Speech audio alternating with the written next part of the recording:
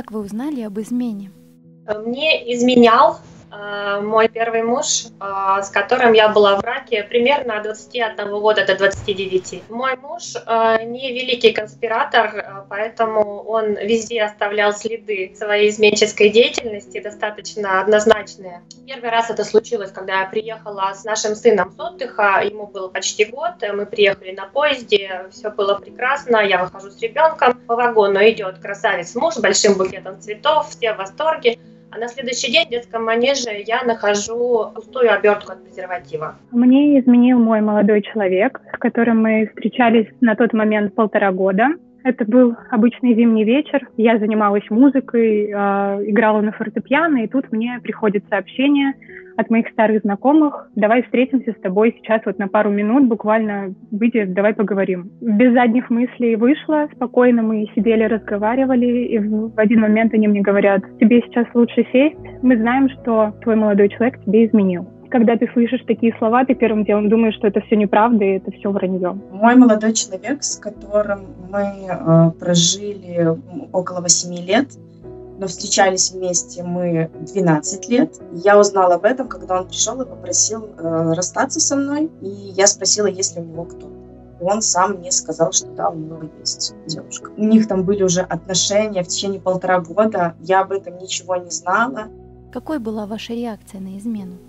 У меня началась паническая атака. Я никогда в жизни не думала, что именно этот человек сможет меня так предать. Я доверяла ему просто полностью. Вот он полтора года это все скрывал, и мне настолько было больно, что у меня отнялись руки, я не могла говорить, я не могла дышать. Это такое ощущение, которое действительно никогда не пожелаешь врагу. Шок, э, такое ощущение, что вся моя жизнь обрушилась, разделилась на до и после на самом деле. Уже никогда не было так, как э, до вот этого первого случая, когда я обнаружила измену. Самое отвратительное, что э, вот эта тревога, это подозрение, которое однажды поселилось, оно уже никуда не уходит. Когда подозрения тем более оправдываются, ну, то есть получаешь такой грустное подтверждение того, что все очень плохо, и жена ты плохая, и семья у тебя плохая, и муж у тебя плохой, и что делать совершенно неизвестно. Чувство безысходности, оно просто накрывает. После того, как я это узнала, я бросилась к нему. Я бежала туда для того, чтобы он мне сказал, что это все неправда. Когда он вышел, я начала кричать «это правда». И когда он ко мне подошел и начал меня выводить в подъезд, чтобы при родителях как бы не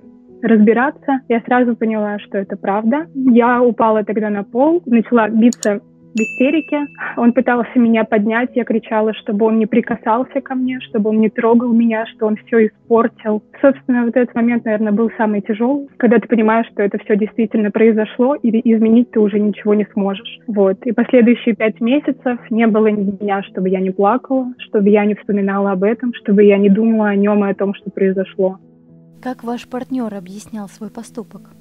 Когда все стало совершенно очевидно, он еще какое-то время отрицал, но потом все-таки э, признал, что да, вот э, так случилось. После того, как эта история закончилась и мы разводились, он сказал, я всего лишь один раз оступился и я э, не виноват в том, что произошло. Он не стал отнекиваться, он не стал говорить, что нет, это все неправда. Он просто опустил глаза. Когда мы сидели на кухне, он просто сидел, смотрел в пол, и мы оба плакали. Потом, через несколько дней, он написал мне большое письмо, потому что он не мог мне, видимо, сказать вживую о том, как он жалеет. После этого письма мы встретились и все-таки решили, что, видимо, наши пути идут в разные стороны, раз такое произошло. И мы расстались тогда. Он сказал, что это стечение обстоятельств. Я, ну, лично я не представляю, как могут так стечься обстоятельства, что ты живешь с одной женщиной, а уходишь к другой женщине и проводишь с ней очень много времени, то есть полтора года это не маленький срок. Это надо уметь скрывать, это нужно перенести вот это все, это нужно врать столько времени. Он объяснял это тоже еще тем, что у меня не такой характер, как ему нужен. Вы знаете человека, с которым вам изменили? Это была моя э, знакомая из школы. Мы с ней также очень долгое время общались. Она говорила какая мы прекрасная пара, как она рада за нас, что мы вместе. Я знаю, что он живет сейчас с этой женщиной. Я ее не знаю, и у меня абсолютно нет никакого желания даже знать ее имя, кто это, что это, как она выглядит. Все мои подруги еще удивляются, как ты не хочешь узнать? Тебе же нужно посмотреть, кто это, сравнить. А я не понимаю смысла в этом. А мы с ней по телефону разговаривали. А, я говорила ей, «А, понимаешь, он не хочет уходить из семьи. Она говорила, понимаешь, он хочет уходить из семьи. То есть у нас у обеих были совершенно разные версии. Каждый из нас, он предоставлял какую-то свою. Вы винили себя в произошедшем? Когда только-только я узнала, я винила себя стопроцентно. Только я одна виновата, я упустила, я где-то не досмотрела, что-то не э, вообще, что-то пропустила в его отношениях. Но сейчас я понимаю, что виноваты мы оба. Я не хотела его услышать в каких-то моментах. Он не хотел меня понять в каких-то моментах. И все это привело к тому, что вот так вот мы расстались ним на такой хорошей ноте. Мы могли бы, в принципе, расстаться еще несколько лет назад, просто хорошими друзьями, если бы мы разговаривали, если бы у нас был нормальный диалог. Да, я очень себя винила. А, я очень старалась быть хорошей женой. а Я старалась понять, что я сделала не так. Я старалась найти слова для того, чтобы объяснить ему, что для меня это неприемлемо, что я так не могу. Но дело в том, что измены для меня а, разделились на две категории. Первая – это если что-то в отношениях сломалось и можно починить. А вторая – вот это мой случай, к сожалению, когда а, от меня ничего не зависело. Если человек так самоутверждается, я могу быть самой лучшей женой в мире, но я все равно ничего не изменю. Как я могу что-то изменить, когда не во мне причина? Первое время нет, но потом, когда об этой истории узнали очень многие из близкого окружения, я слышала в свою сторону обвинения, что это я виновата, это значит, я была такой, я не проявляла к нему должного внимания. Тогда я задумалась, но это все было вранье. У вас получилось наладить отношения? А в итоге домой он вернулся в семью, предложил начать все снова. И через 3-4 недели а, стали появляться опять те же самые знаки того, что он а, мне не верен, того, что он не изменяет.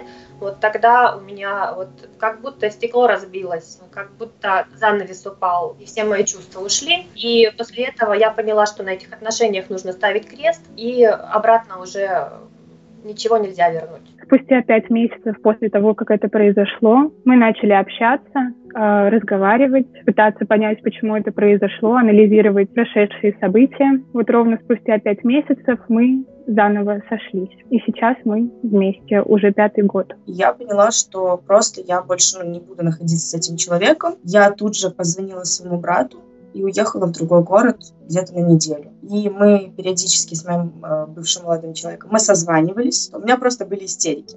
Я не могла спокойно разговаривать с ним. Я была готова на все, чтобы его вернуть. Мне хотелось вернуть назад свою жизнь, которая у меня была. Я думала, что это происходит не со мной. И получается, когда я приехала назад в город, э, мы с ним увиделись, и я все же сразу же уехала к маме. И можно сказать, мы расстались сразу же, но у меня были какие-то надежды. Вы простили измену своему партнеру? Нет такого, такой формулы, чтобы простить измену. Ты либо ее прощаешь, либо нет. Единственное, что я могу посоветовать людям, которые находятся в той же ситуации, что и я три года назад, если вы собираетесь простить человека, который вам изменил, никогда даже в самых тяжелых ссорах не вспоминать то, что произошло. Первые четыре месяца я постоянно это вспоминала, упрекала, и на этой почве было очень много ссор. А потом в один момент мы просто договорились, что если мы идем дальше, то об этом надо забыть. И все. Уже вот на протяжении трех лет мы практически не ссоримся. Я простила, потому что я его очень сильно люблю. Свою жизнь без него я не представляю. Как он свою не представляет без меня. Но это было очень тяжело. За то, что бывший муж мне изменял, я его сейчас уже однозначно простила. У меня нет к нему э, никакой злости, никакой обиды, никакой горечи. Но пожалуй, мне трудно простить именно э, то, что э, много лет меня выставляли дурой, когда я заявляла о своих подозрениях и убеждали в обратном. А то, что друзья мне говорили неправду, и я была вынуждена извиняться перед ними за свою грубость, когда я предъявляла им свои обвинения. Не могу простить вот э, то, что сын служил ширмой. Вот это не могу простить. Я не, честно, я не могу ответить на этот вопрос. Я не знаю, как можно простить. Просто человек для меня больше не существует в плане партнера, в плане поддержки и так далее. Хотя я, в принципе, могу сейчас позвонить в любой момент, ему попросить о помощи, он мне поможет. Я думаю, что он чувствует свою вину. Я не знаю, просто живу дальше, не зацикливаясь на этом. Как эта ситуация на вас повлияла?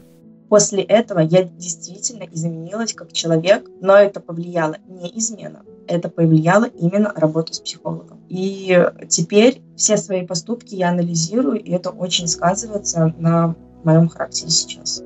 Самый большой вывод, который я сделала из данной ситуации, что никогда не стоит жить только одним человеком. Я полностью всю себя вкладывала в одного человека, я сейчас очень сильно об этом жалею. У меня не было никакого окружения, которое помогло бы мне справиться с моей ситуацией, поэтому мне пришлось обратиться к психологу. У тебя всегда должно быть разностороннее взгляды, у тебя должно быть всегда много поддержки, много друзей и общения. Меня как личность эта ситуация, безусловно, изменила. Во-первых, она меня травмировала страшно, она меня разрушила полностью, и потом очень большая работа внутренняя потребовалась для того, чтобы вот эту целостность личностную восстановить. А, во-вторых, а, я поняла, что а, нет никакой гарантии ни для одного человека, даже для самой лучшей жены, даже для самого лучшего мужа, нет никакой гарантии, что человек не попадет в эту ситуацию. Потом, позже, э, переосмыслив все это, я поняла, что я очень сильно зависела от своего мужа, э, и это делало меня беззащитной. И э, жить мне стало гораздо легче. Когда я вышла замуж второй раз, у меня не было уже никакой тревоги, у меня не было никаких подозрений. Первые несколько месяцев я очень сильно ревновала, постоянно тоже брала его телефон, что-то смотрела. Сейчас я понимаю, что это все такое ребячество, и если ты решил доверять своему партнеру, то доверяй полностью.